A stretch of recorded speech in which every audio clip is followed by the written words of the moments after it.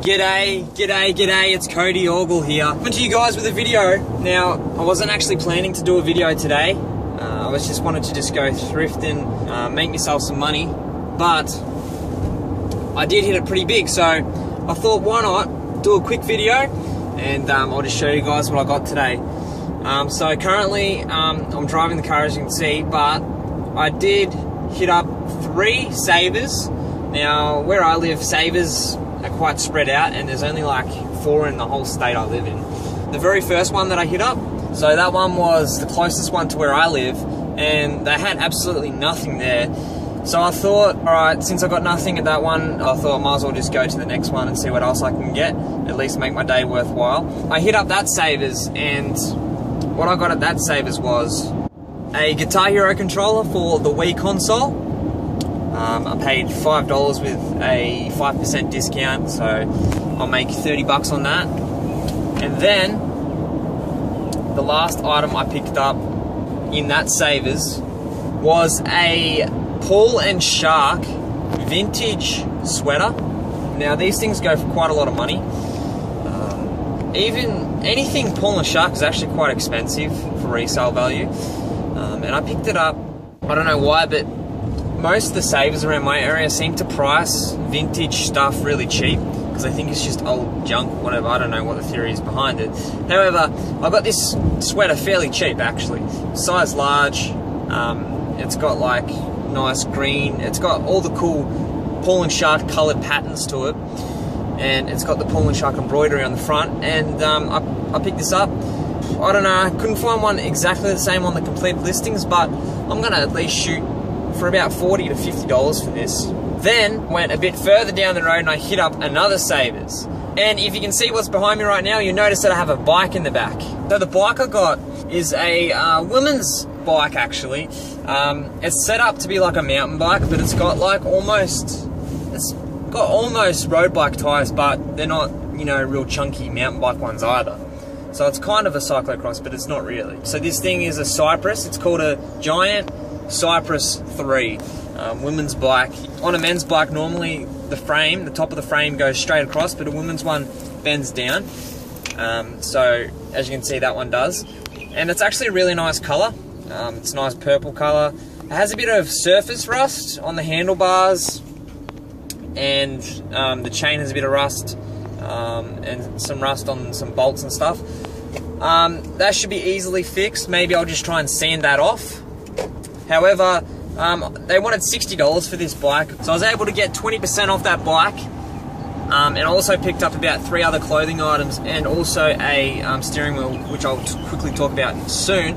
But still talking about this bike, um, I got a 20% off. They wanted 60, so I paid uh, $48 for it. Now I looked up on the completed listings on eBay just to get an understanding of what price range I was selling for. Um, and the Cypress brand women's bikes, we're going anywhere from 100 um, all the way up to about 300. Now I have to do further research to um, pinpoint the exact amount I could possibly get for this bike. Um, I was probably going to list it on eBay and also on Gumtree as well, just for local sale. Yeah, but I'm going to try maybe 200. I don't know. I'll see how we go. I want to try and get the rust off and all that stuff first. Hopefully yeah, I should get it sold. But giant bikes have a really good demand, so this bike should definitely sell pretty good. Um, and also at the Savers that I picked up the bike, I got um, some clothing items, as I said before. Okay, so I'm just pulling up to a Salvos right now.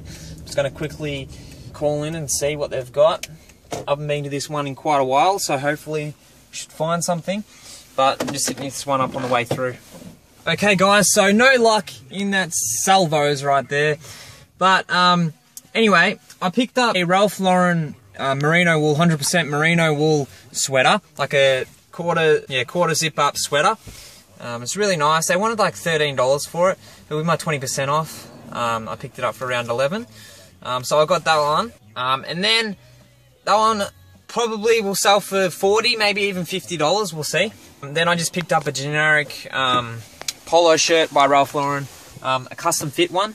It was size large. And then I picked up a Ralph Lauren again, button front, short sleeve, um, classic fit, size small, I think, shirt.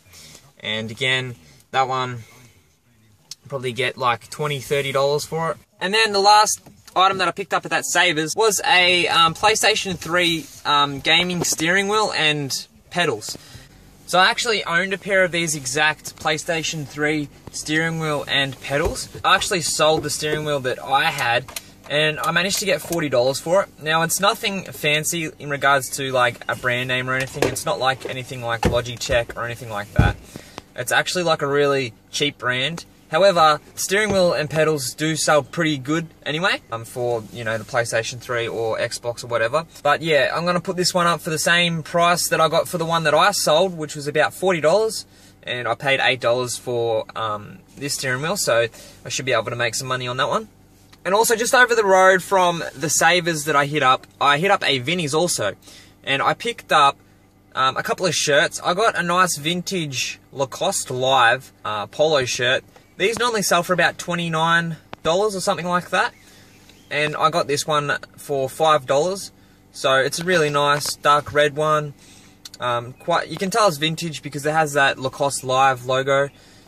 And the last item I picked up at that Vinnie's was a uh, button front long sleeve Ralph Lauren Blake shirt. So this was a really nice shirt. It had the pink and white stripes. I was just going to put this one up for about $18 on a starting bid price. It should sell for $30 plus. But it's always good to put these shirts up at a bid because sometimes people um, go crazy over certain patterns and from my past experience, I put one of these up for $18 and it sold for 61 which is pretty ridiculous. So I still go by that rule, just in case, you know, because I'm happy to at least get, make $10 off the shirt. But I'm also happy to make $50 off the shirt just in case people have that crazy demand for it. So, yeah, guys, that's uh, it for today's video. Yeah, I wasn't going to make a video, as I said before, but I thought, you know, I've done pretty well. Why not just share my success and um, hopefully you guys can learn from this? But I was going to go garage sailing today because I watched the Bonafide Hustlers video, um, killing it on a Friday, and I thought I might give that a go. But um, unfortunately, around my area, at least, there's not that many garage sales um, that operate on a Friday. Um, I think I just stick to the Saturday and Sundays. Right now though, I'm just gonna head off to the library. I'm actually gonna use their Wi-Fi so I can uh, watch a few YouTube videos, you know, get that education in. And then I'm just gonna use that time to relist some items. And I'm also gonna dedicate an hour or so to uh, keep working on my book. Um, just gotta keep writing that and um, get that finished and then I'll hopefully have that out soon. Yeah, but I'm thinking to give that book away when I finish it to everyone that's um, a member of the Green Room. So if you're not a member of the Green Room, go over to the Green Room on the Facebook page and um, become a member. Remember to give this video a huge thumbs up. That really helps me out heaps. It really does. And I really, really, really appreciate you doing that. And if you are a subscriber, thanks heaps. And if you're not a subscriber, you know what you got to do. You got to hit that subscribe button right there. It's going to help me out a lot and I really will appreciate it. So thanks again, guys, and I'll see you in the next one. Bye.